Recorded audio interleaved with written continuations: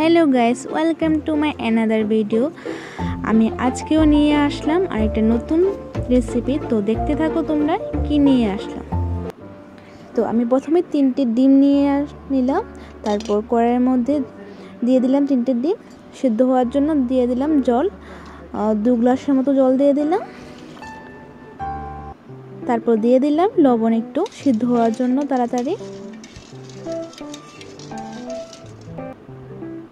তো তার জন্য নিয়ে নিলাম পেঁয়াজ কুচি এবং লঙ্কা কুচি নিয়ে নিলাম। তারপর তারপর লবণ দিয়ে দিলাম। ভালো করে নাড়াতে হবে। নাড়িয়ে দশ মিনিট রেখে দিতে হবে।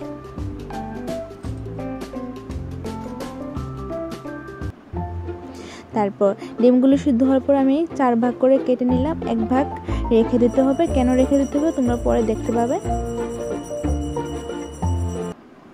তারপর দশ মিনিট পর পেঁয়াজগুলোর মধ্যে আমি দিয়ে দিলাম জিরে গুঁড়ো, এক চামচ।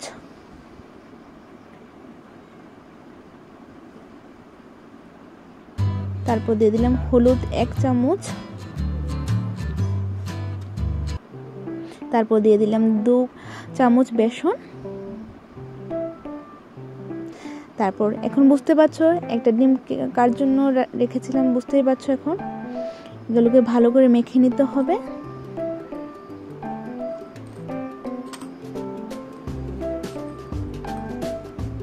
একদম ভালো করে কিন্তু মাখতে হবে।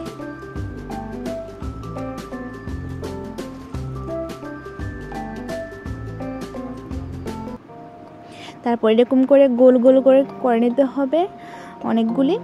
বড় করে করতে হবে গোলগুলি। তারপর এরকম করে ডিম ঢুকিয়ে মুড়িয়ে নিতে হবে ভালো করে। তো দেখতে পাচ্ছ, আমার মুড়ানো কমপ্লিট হয়ে গিয়েছে।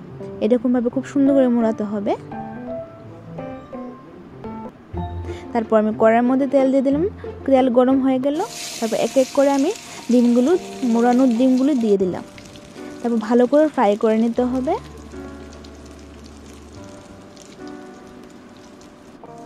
ভালো করে উল্টোতে হবে যাতে ভেঙে না যায়। সেদিকে নজর রাখতে হবে।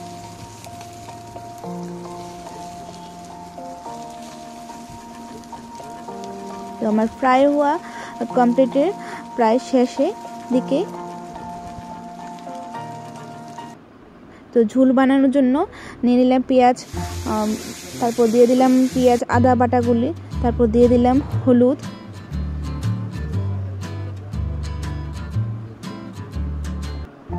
তারপর দিয়ে দিলাম লবণ পরিমাণ মতো, তারপর জিরু, জিরে দিয়ে দিলাম। তারপর ভালো করে এগুলোকে নাড়াতে হবে, কষাতে হবে ভালো করে।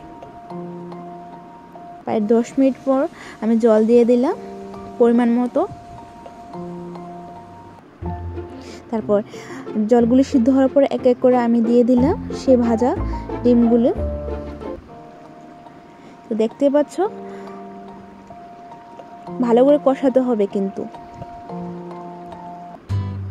তো আমার রেডি হয়ে গেল, দেখতে পাচ্ছ? সুন্দর দেখতে হয়েছে তোমরা ট্রাই করতে পারো। আজকে এই ভিডিওটা এতটুকুই ছিল। ভালো লাগলে সাবস্ক্রাইব করে দাও লাইক অ্যান্ড কমেন্ট শেয়ার চাই। ততক্ষণ জন্য টাটা বাই বাই